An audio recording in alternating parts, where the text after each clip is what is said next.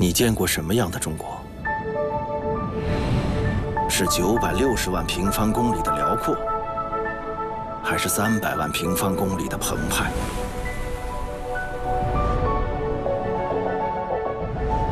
是四季轮转的天地，还是冰与火演奏的乐章？像鸟儿一样，离开地面，冲上云霄，结果超乎你的想象。前往平时无法到达的地方，看见专属于高空的奇观。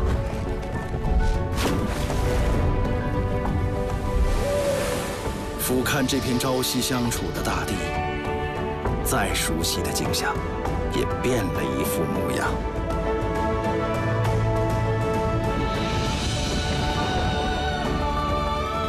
从身边的世界，到远方的家园；从自然地理，到人文历史。五十分钟的空中旅程，前所未有的极致体验。从现在开始，和我们一起天际遨游。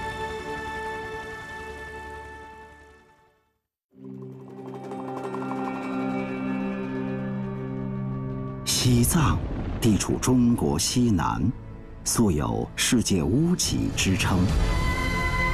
地域辽阔的藏北高原，苍茫野性，数千湖泊点缀其间。河流与山脉的互动，带来了沃野、密林与文明。让我们开启巅峰之旅，从拉萨开始，先适应一下高海拔的空气，再到落堆峰进一步训练，之后一路向西，地球最高点在群山中召唤。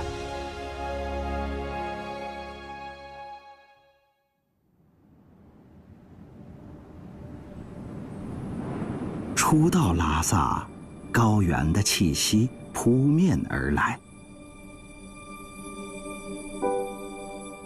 只是，高海拔和低气压，让这空气里的氧含量少了许多。有的人，却借助这样的条件进行剧烈的运动。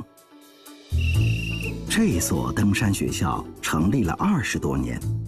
他们在用科学的训练方式培养专业的登山者或者登山向导。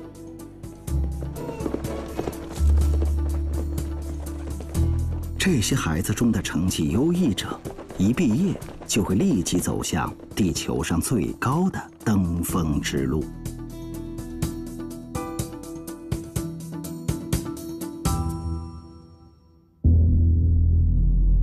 离拉萨不远。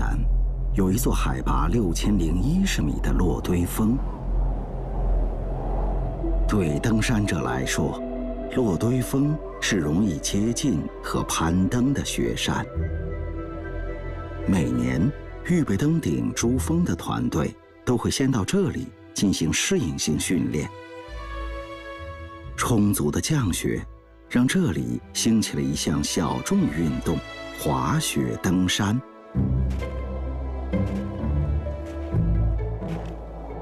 人们背上雪板，或者利用板底的止滑带爬到一定高度，然后高山速降。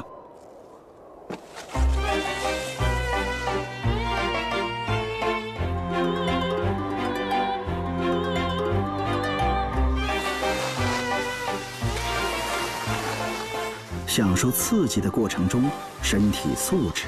技巧、经验和胆量缺一不可。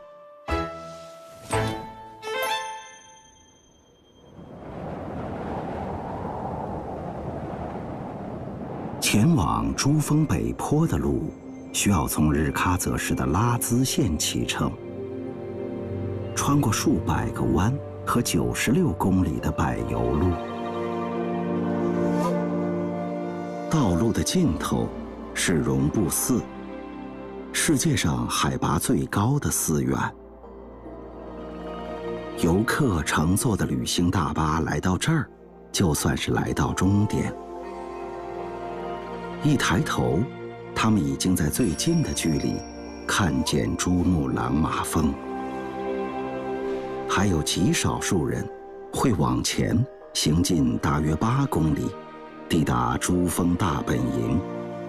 而我们的飞行将离开地面，从空中接近珠峰。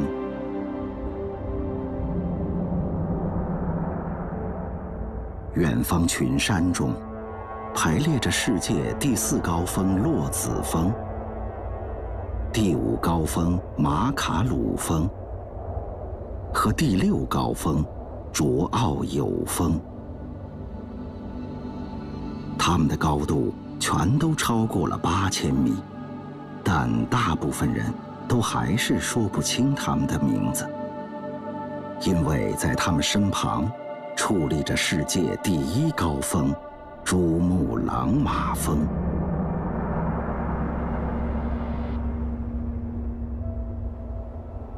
清晨的第一缕阳光，每天都会早几秒钟抵达它的冠冕。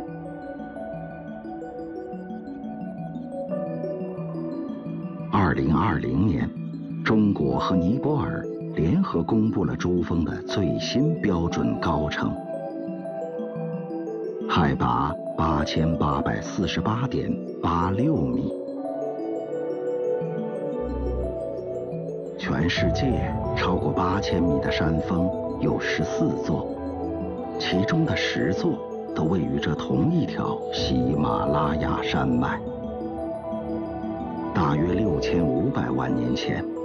印度板块和亚欧板块发生碰撞，诞生了这条两千四百五十公里长、两三百公里宽的喜马拉雅山脉。这是地球上最年轻的山脉之一，但它以近七千米的平均海拔超越其余山脉，冠绝这个星球。在中国。我们能见到的许多地形的成因，都和这次碰撞有关。世界最高的高原由它塑造，无数峻岭、湖泊、峡谷、荒原拜它所赐。风、雪、雨、雾的运行规律。与它休戚相关，它极大程度影响了这里的生命形态、生存方式和文明走向。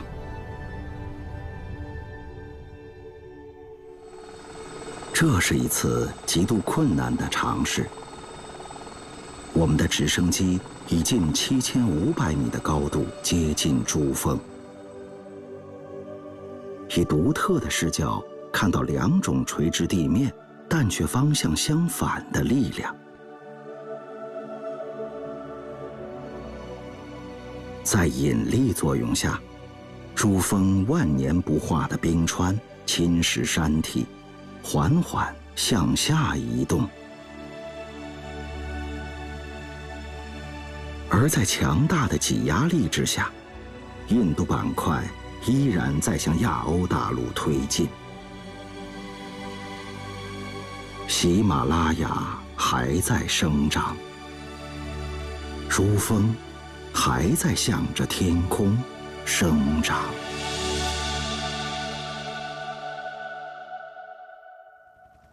这一趟旅程，我们沿水路和公路飞行，探访喜马拉雅的最东端。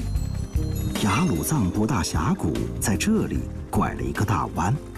水汽由此进入高原，带来勃勃生机，但也为道路修建带来重重困难。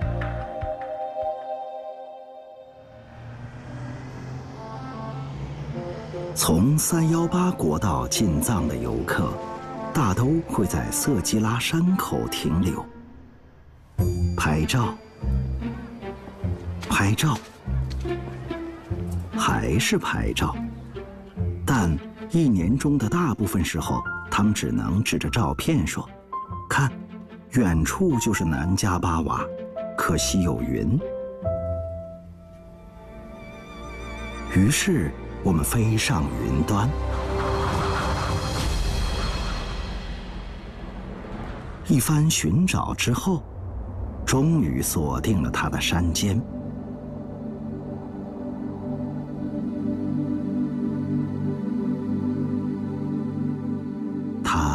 点高，七千七百八十二米，有一点老。大约六千五百万岁。有一点特殊，喜马拉雅山脉向东的伸展止步于此。从海洋南来的暖湿气流遇见它，被迫盘旋上升，以云的形态包裹山体，所以拍不到南迦巴瓦。别怪自己运气不好，这是正常现象。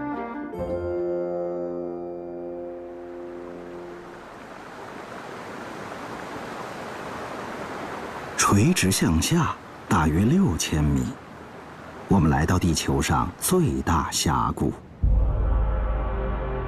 雅鲁藏布大峡谷的核心区，被认为是地球上最后的秘境。仅有非常少的探险者和科学家曾经到访，留下了一些文字记录。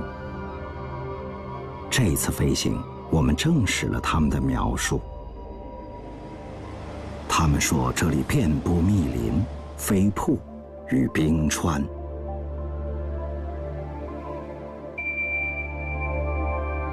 他们还说这里有一个河床瀑布群。叫做藏布巴东。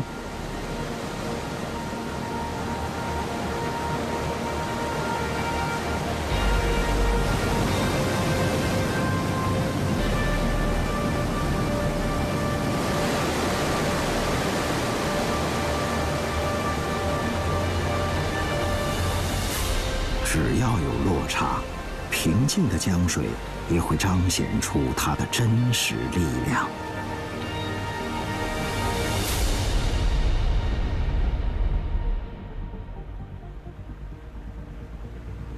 雅鲁藏布大峡谷是青藏高原天然的通道，暖湿气流严格按照它的规划逆江而上，在西藏东南造就一片难得的绿色。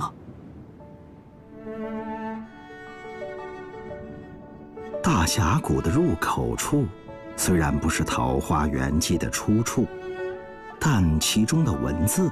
用在这里，竟然也产生了错位之美。夹岸数百步，芳草鲜美，落英缤纷。土地平旷，屋舍俨然，阡陌交通，其中往来众作。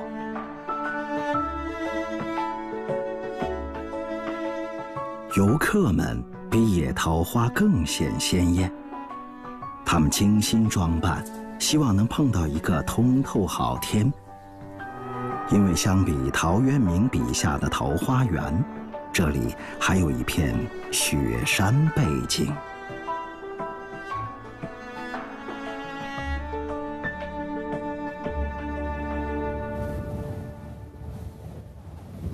墨脱。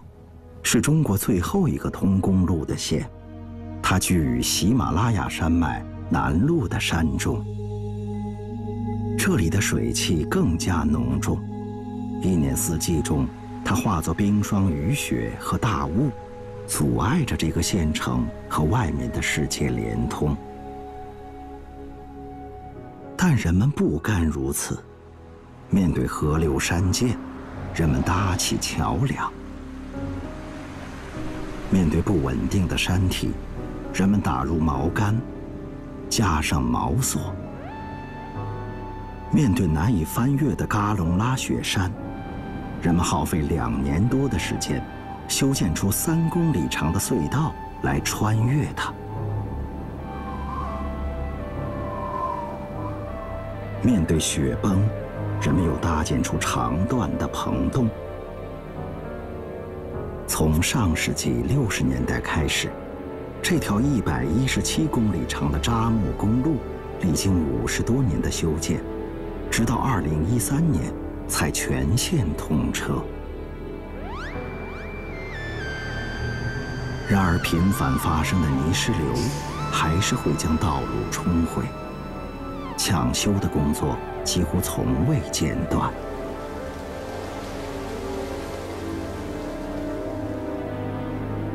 二零二二年十月，第二条木托公路主体完工，人们从这里驱车三个小时，就可以到达林芝机场。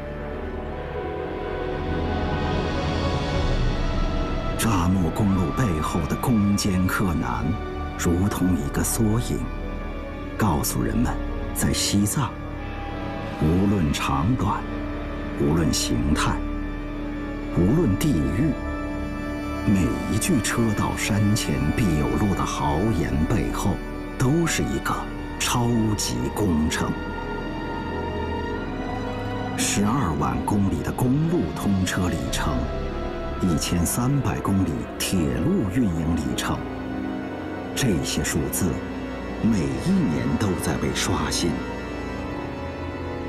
因为这些路，人们穿行着高原，也如履平地。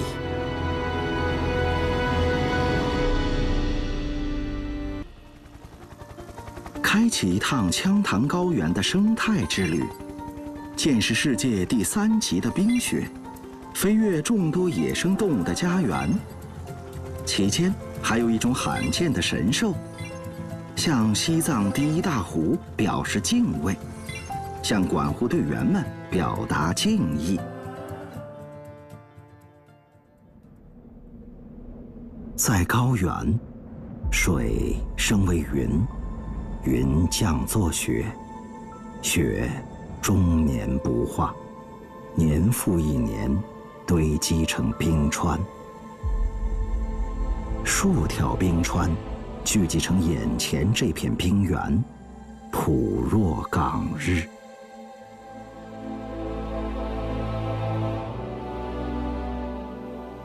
它肆意雕刻着脚下这四百多平方公里的土地，或用冰舌劈山裂石。或用冰斗侵蚀出陡峭山脊，或研磨土石造就冰川沙漠。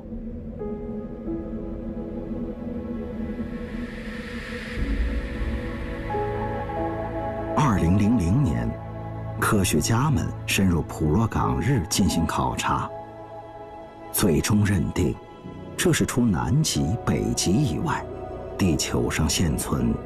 最大的冰川。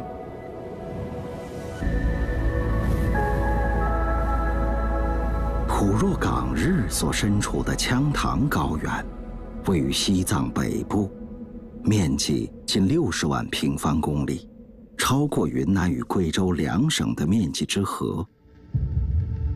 平均海拔近五千米，年平均气温大都在零摄氏度以下。羌塘高原绝大部分地方都是人类禁区。不过，当你看到兀鹫，就说明这里绝非生命禁区。这种食腐飞禽只会出现在动物多的地方，它们期盼看到死亡，但更多时候，它们看到的是盎然生机。相比经过驯化的远方亲戚，藏野驴完全没有工作的负担，无处发泄的体力挥霍在自由的奔跑中。为了跟藏羚羊拉开辨识度，藏原羚炫耀着它的新型白屁股。西藏棕熊正趁着夏天急于带大孩子，并为冬眠储备能量。众多湖泊为大小水鸟提供了栖息地。一个猛子扎下去，憋气的能力大大超过我们的预期。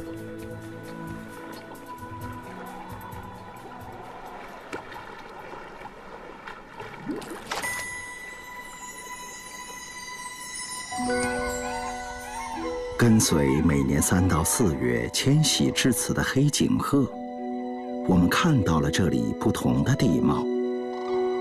羌塘高原为生命狂欢提供了水阔天空的舞台。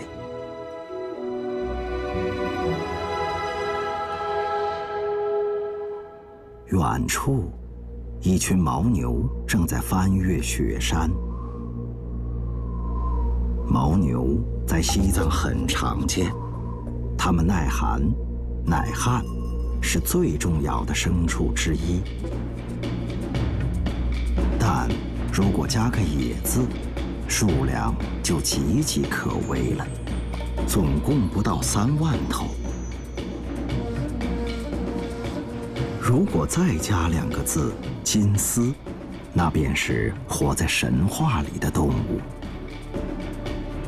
神兽，竟然就这样出现在眼前。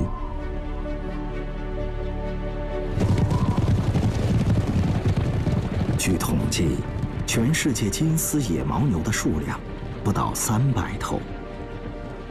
这意味着，我们看到的已经是这一物种总数的一百分之一。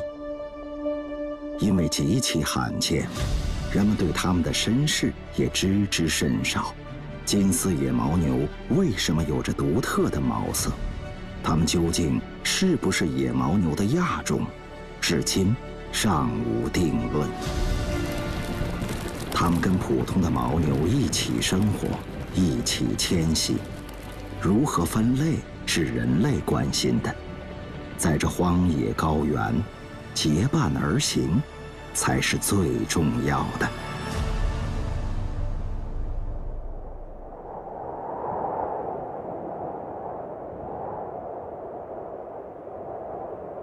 羌塘高原有着超过两万五千平方公里的湖泊，占中国湖泊总面积的四分之一。气候变暖，使冰川大量融化。色林错的面积在过去的半个世纪里几乎变大了二分之一。二零零一年，他从纳木错手中抢过了西藏第一大湖的桂冠，卫冕至今。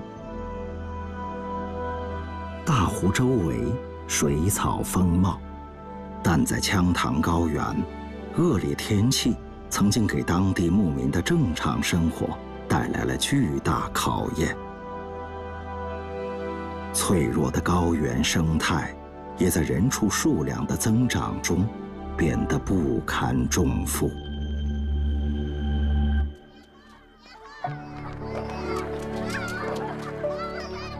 从2017年开始，分散生活在羌塘高原的困难牧民。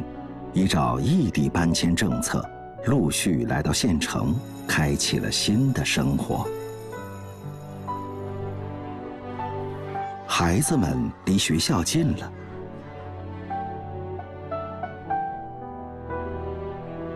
大人们离彼此近了。那他们的牲口呢？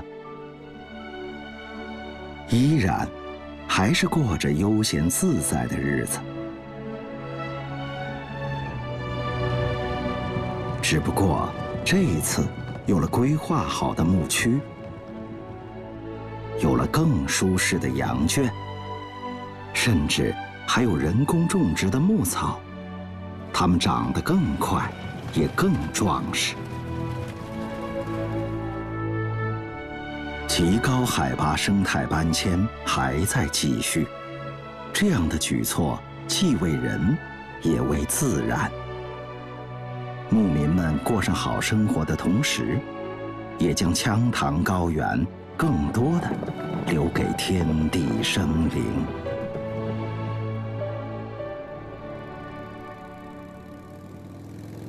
羌塘的无人区本没有路，压的次数多了，也就有了路。这些固定的车辙，刻画了羌塘国家级自然保护区管护员们的职业轨迹。曾经，他们的主要工作是防止盗猎。一旦发现陌生的车辙，便会立即警觉。藏羚羊是青藏高原独有的生物，其中一半生活在羌塘。多年前，它们曾经历浩劫，数量从近百万锐减到五万只左右。随着生态环境保护力度加强，现在的藏羚羊数量已将近三十万只，保护等级从濒危下降到近危。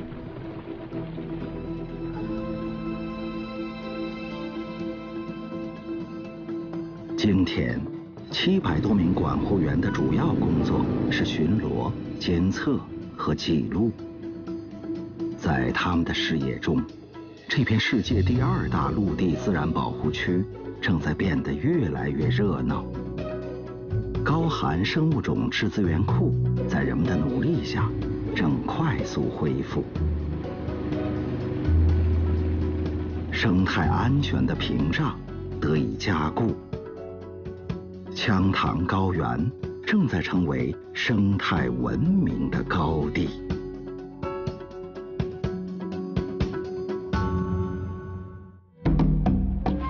前往阿里地区，见识一座具有超然地位的山峰。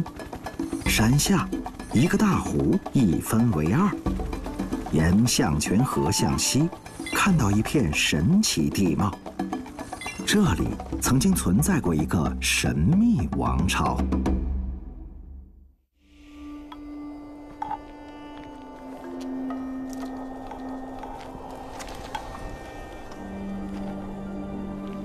在西藏，许多地方都有转山的风俗。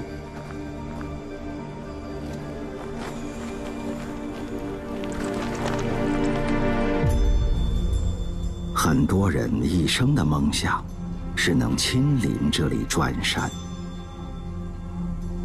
他就是冈仁波齐。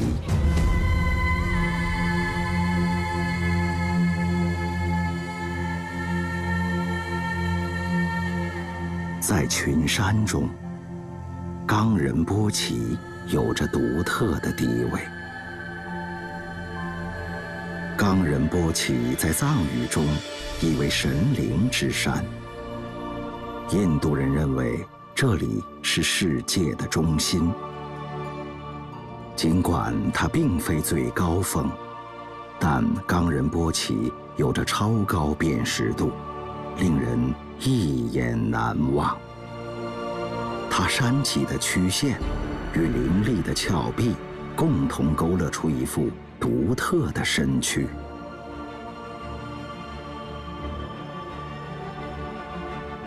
雨雪风蚀，山体南侧的横向岩层被摩擦出深深的痕迹。其间，纵贯一条巨大冰槽。冈仁波齐所处的高原亚寒带干旱气候区。年均气温低于五摄氏度，百分之四十的降水集中在八月。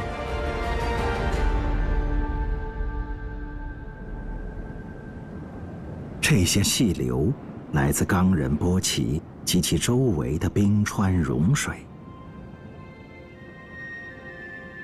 其貌不扬，但却是亚洲三条著名大河的正源或上游重要水源。雅鲁藏布江、印度河与恒河，三条大河孕育生命，滋养文明。沿岸的先人们饮水思源，他们认为冈仁波齐便是万水之源。还有的水流在山下，汇聚成湖。眼前的两个湖原本同属一个大湖，气候变迁，湖水退缩，一分为二。这让他们有了截然不同的命运。马旁雍错是淡水湖，更宜滋养生命，得到人们的青睐。拉昂措，则因为是咸水湖，经常被人冷落。其实，不论咸淡，湖水始终调节着这里严酷的气候。为人和动物制造出一片温润。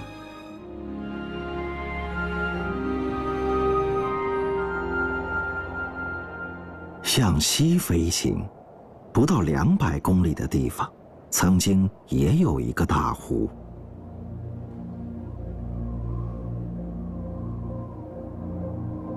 因为喜马拉雅造山运动，湖盆抬升之后。风、雨、河水不断侵蚀，最终形成了这片五千多平方公里的地质奇观——土林。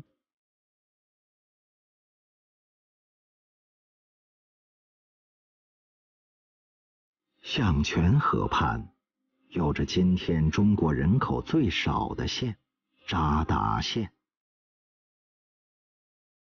它看上去有些冷清，但在长达两千年的岁月中，土林从未缺少人类活动。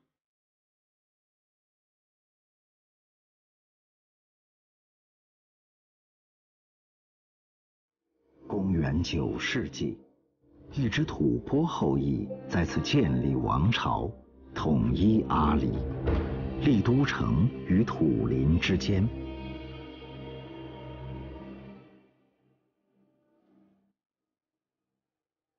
三百多米落差的高低空间里，遍布洞窟、房屋、碉楼、暗道和佛塔。从下至上，居住者的社会地位也逐级攀升。山巅，则是王宫所在。古格王朝存在于此的大约七个多世纪里。冈仁波齐一直是这个王朝仰望的山峰。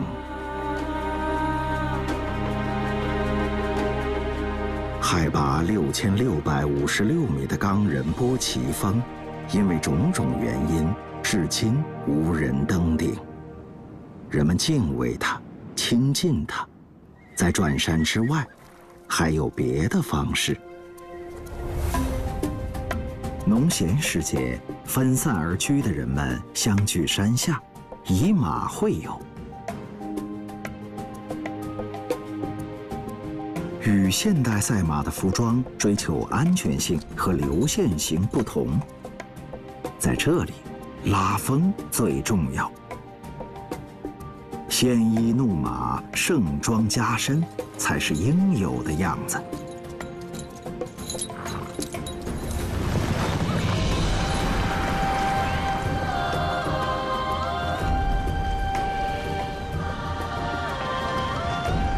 骑手们策马扬鞭，当然要争先，但输赢没那么重要。从他们的表情就能看出，和顺、和谐、和睦，才是这里牧民们生活的新气象。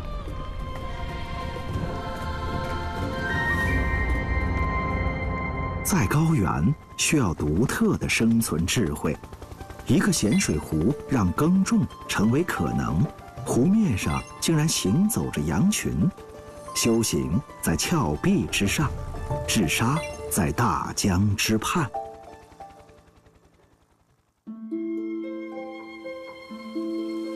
当惹雍措是个咸水湖，不能灌溉，不能饮用。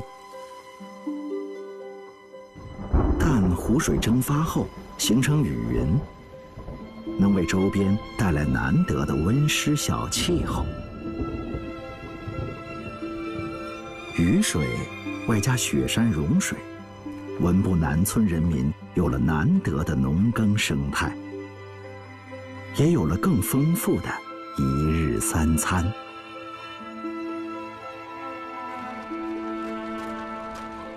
夜色正浓，推瓦村的村民已经开始工作。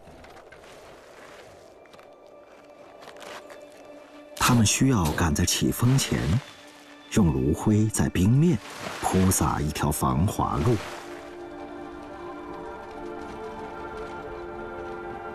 然后将已在湖心岛寄宿一个多月的羊群接回村庄。只要头羊能迈开脚步踩上冰面，群羊就会紧随其后。牧民们最懂头羊效应。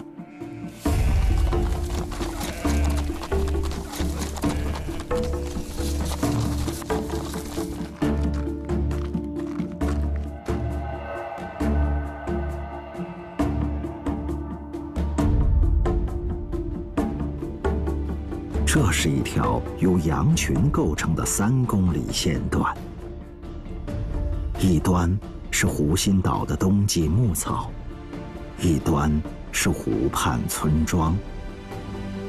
这个名场面只在冬季出现，循环往复，已有千年历史。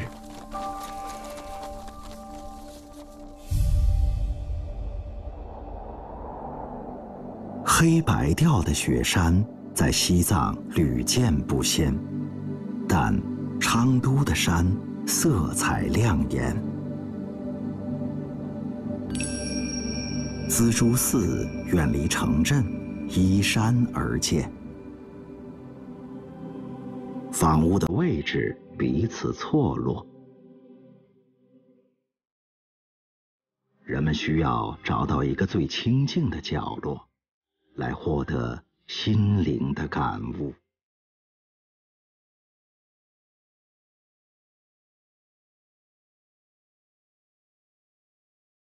在扎囊，一棵树孤悬在沙地与湖水间，展示着在这里生存的不易。雅鲁藏布江流经扎囊时，水流变缓。河道变宽，与江水一同来到扎囊的，还有大量细小沙石。每逢枯水期，河床裸露，风沙肆虐无度。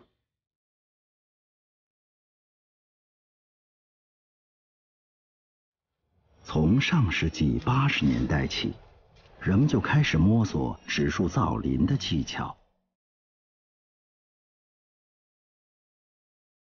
几十年来，南岸的树就这样被一棵棵栽下去。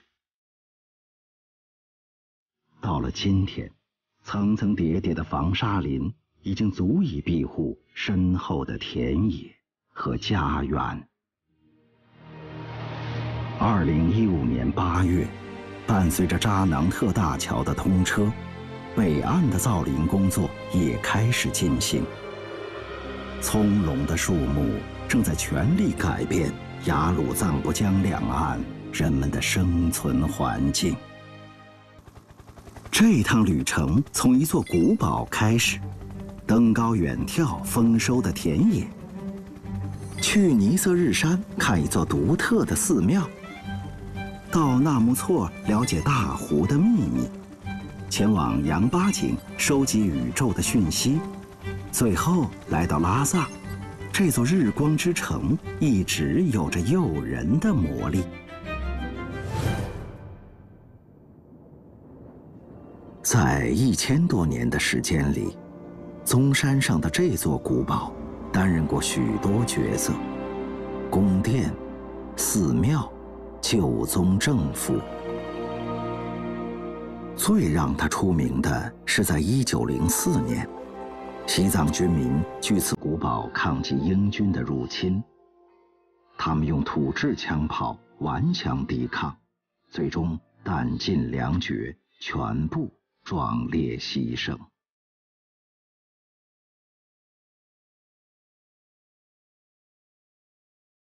和平安宁的今天，古堡静立高处，看着眼前的春播秋收。年楚河是雅鲁藏布江的重要支流，它浇灌出了西藏最富庶的日喀则平原。在超过三千五百年的粮食种植史中，青稞在今天实现了最高产。于是，高原之外的人们也能吃到西藏产出的青稞。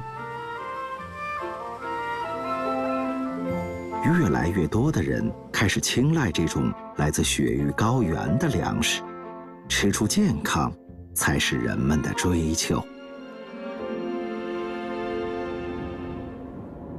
尼色日山下，一座寺庙依山势而建。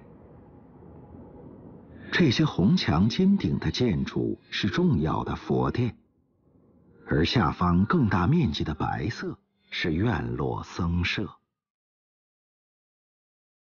扎什伦布寺是历代班禅的驻锡地，也是重要的藏传佛教学经场所。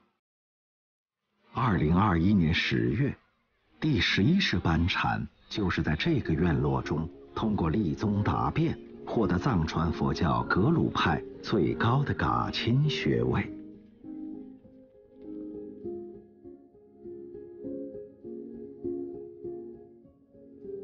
向北飞行，看见一片宽广如梦的蓝色水域，这是西藏第二大湖泊。纳木错。眼前，一只红色冲锋舟正在接近湖心的黄色装置。二零一九年，这个浮标平台被投放到纳木错，通过它，水文和气象的动态参数能够实时传往北京的数据中心。科研人员正在对它进行每两个月一次的例行调试，顺便也在临近水域进行了采样作业。漫游在水天之间，这份工作显得寂寞，却令人羡慕。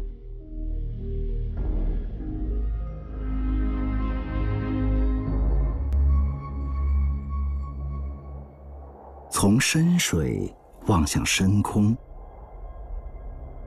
七百八十九个白色箱体组成了实验阵列，陈列在羊八井。大气稀薄的高海拔地区，是科学家们追寻宇宙超级射线的绝佳场所。宇宙线的研究。在现代物理学的发展中，有着非常重要的地位。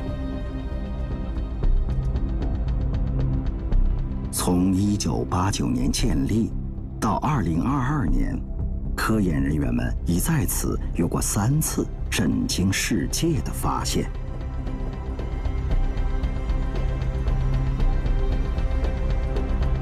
也许我们还需要时间来理解它的真正价值。但毋庸置疑，它就是世界上公认的尖端科技。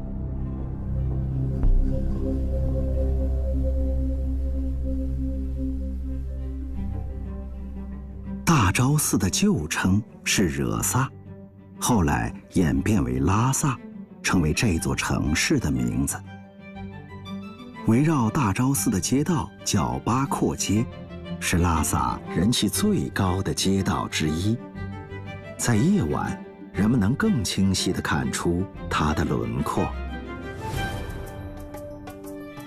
随着金顶亮起，八廓街开始苏醒。从稀稀疏疏到熙熙攘攘。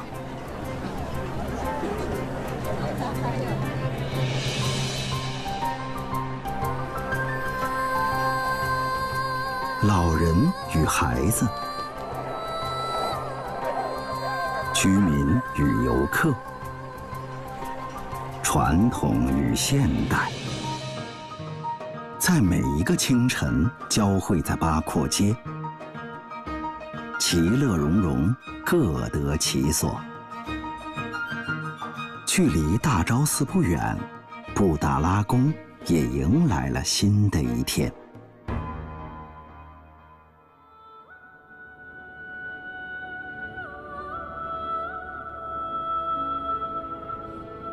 公元七世纪三十年代，吐蕃首领松赞干布迁都拉萨，始建布达拉宫。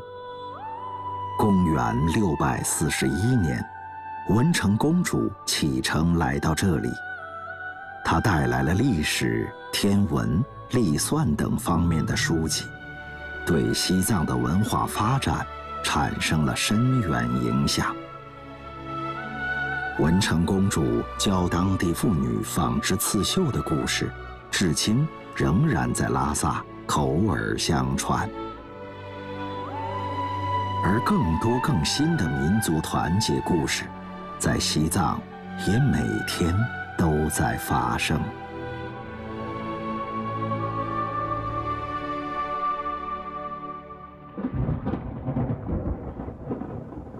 六月的雨云。低垂在河谷上空，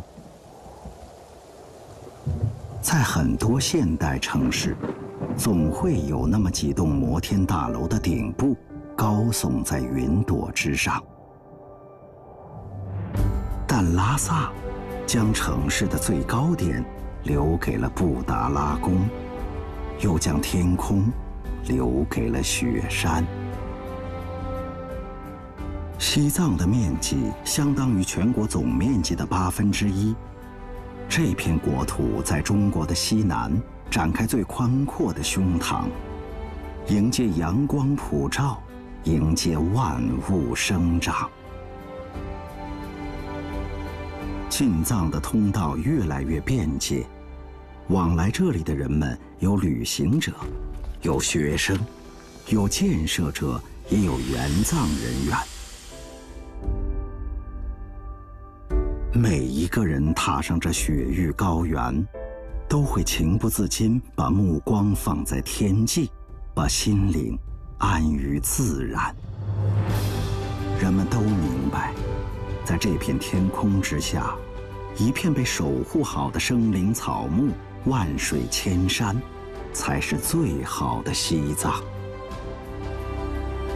每一个来访者的相机。总会捕捉西藏人的笑容，因为那是他们在此与自然和谐共生的幸福。